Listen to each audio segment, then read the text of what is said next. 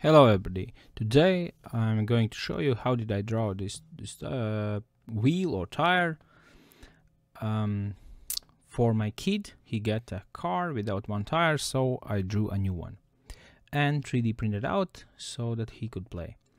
Okay, uh, I will not gonna draw it again. I just quickly go through the steps. How did I do that? And basically show you the results.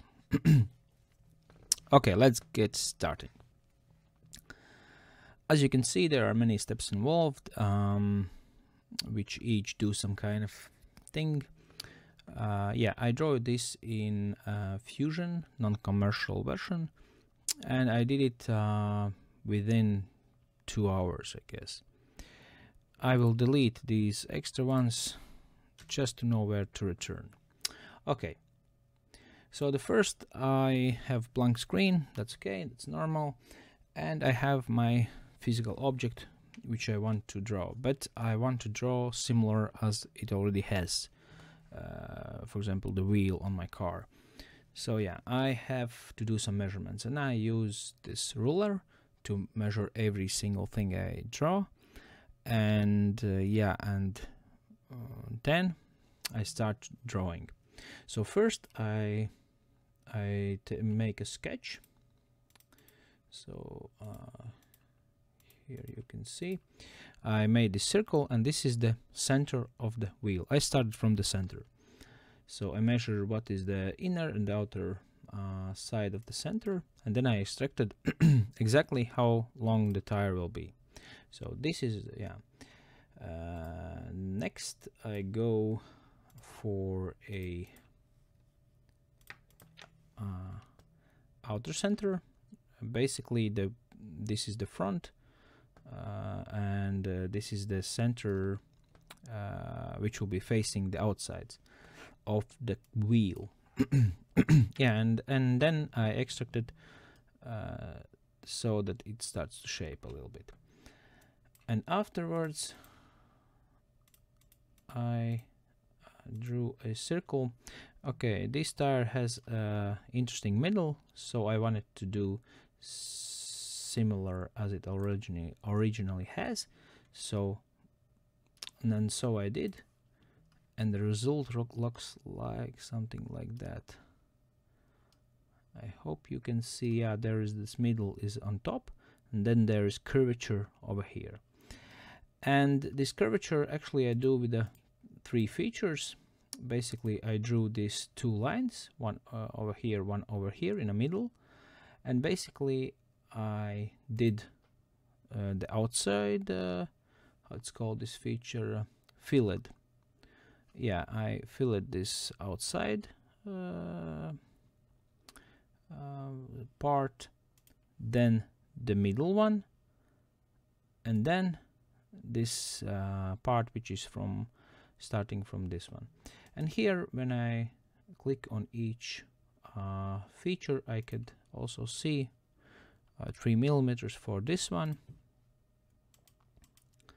So uh, 2.75 for this one. And this is all approximate because uh, and 1.25 for for the center.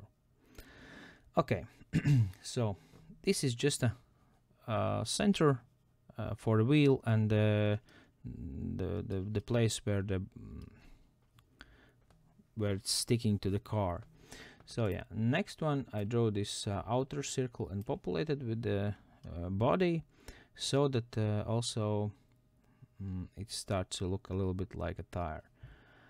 And here I drew on one side this um, uh, these two um, lines and did one millimeter thick.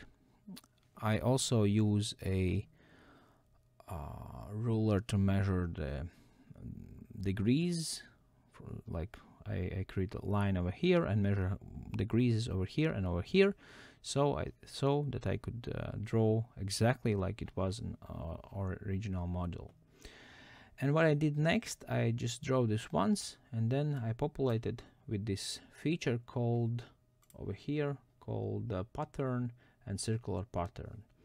This is a really nice feature. You just use this one select the feature you want to populate select the object uh, well that's basically the feature and select the x axis. And for x selection I use one simple trick. I select axis then I disable body and then I use Uh, choose the X which I want to populate. This is very convenient because when you have a body you can click accidentally on on a face or an, a sketch or something like that.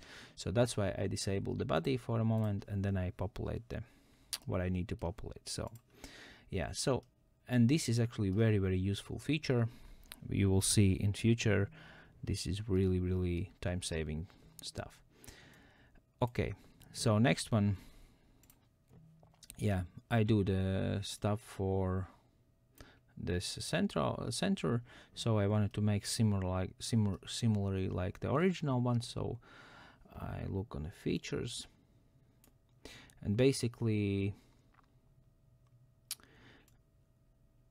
uh, yeah and this is the final result which kind of looks similar what I have already on my hands but um,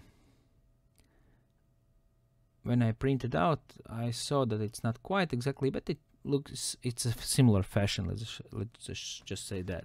So yeah, and I really like how how it turned out. So basically, I just need to color it uh, the center, and I had to do so many steps over here for this um, um, fillet uh, feature on the sides because I could not populate with this um, circular pattern. And that's because there was some kind of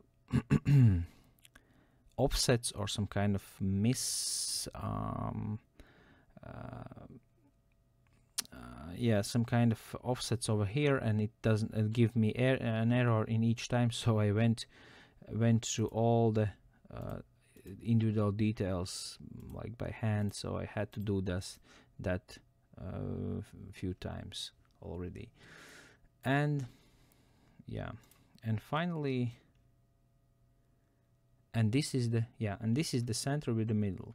So this this took me uh, quite a long time because um, yeah because of these parts I had to manually adjust the, the, the all the uh, like sides and everything how it does it look.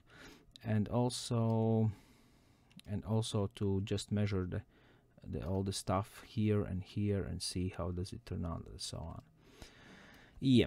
And then so and this is just the middle and this uh, two middles basically the the wheel and the, this this stick. Let's just call them stick. So yeah. And then then I did one interesting thing. So I had to uh, draw a uh, other side of the tire which is this uh, outer side. And then I did like that I draw a sketch like that. Like uh, I choose a middle part to just uh, determine how thick the tire will be.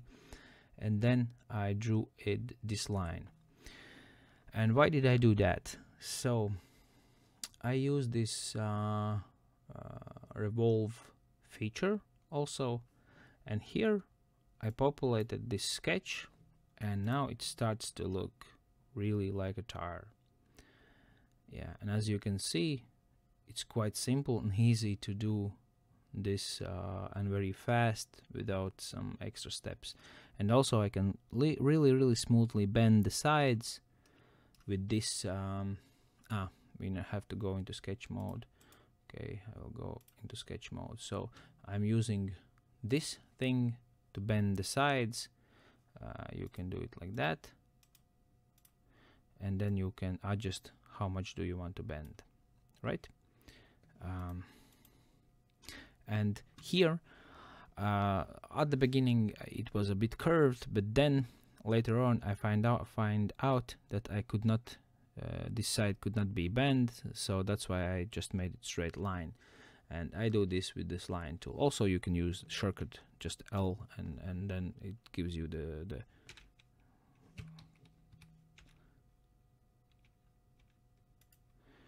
line option. Yeah. Okay. Finish sketch. So yeah. So uh, moving forward. Next sketch is also quite interesting what I did there. Um,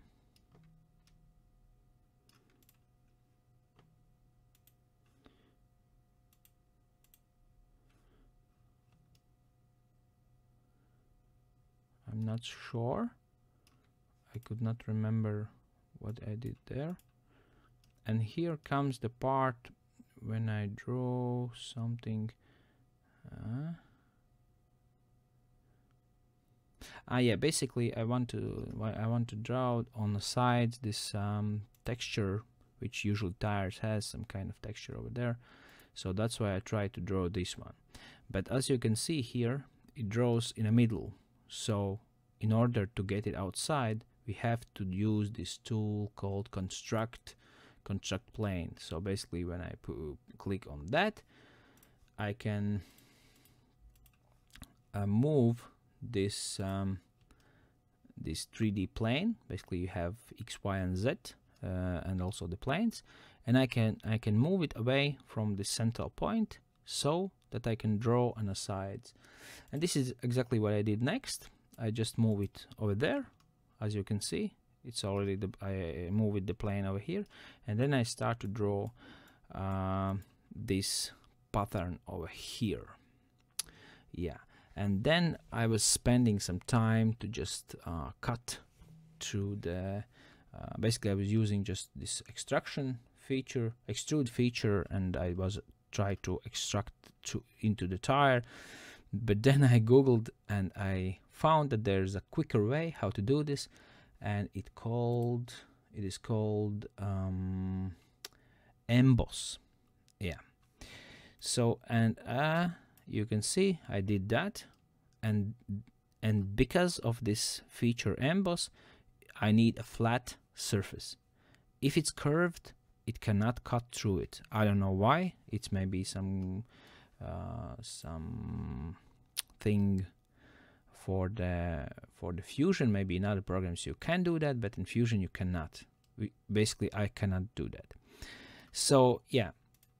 But my problem here actually i was so into this drawing i really for, forget about this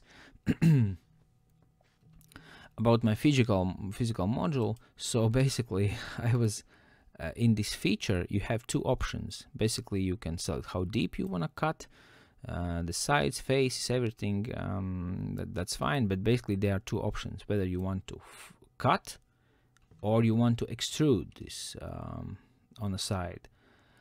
Um, yeah, and as you can see, it's really nicely that my drawing is is straight, like out from the side of the of the tire. But what I like about this um, feature called uh, emboss, does it bends your drawing uh, uh, well and lines and bends as your side.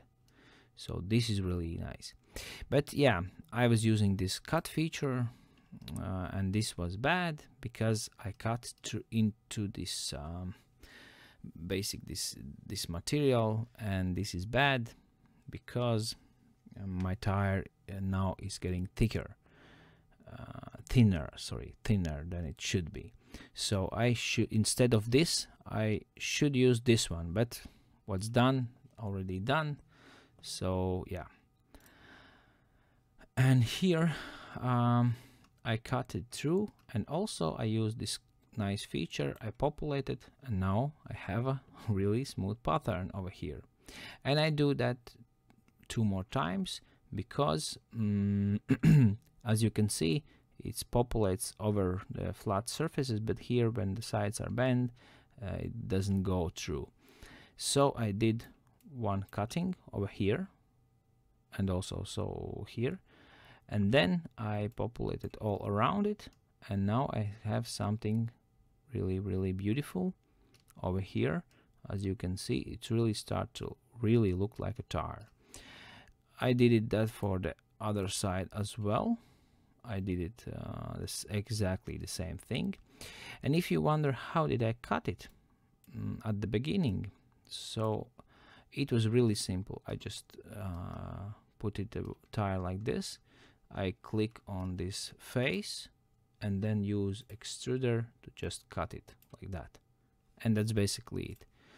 And then I populated with this um, pattern circular pattern and yeah. So uh, yeah I already told about this. Now and uh, my tire looks a bit really really similar but uh, the difference is that this is going straight not bended but it doesn't it does I doesn't I don't care about this uh, because it's really really similar. So next thing I did was uh, I drew these lines over here for circles. I also do the same emboss on that. As you can see I extruded those two out. And uh, I don't know can it be seen over here?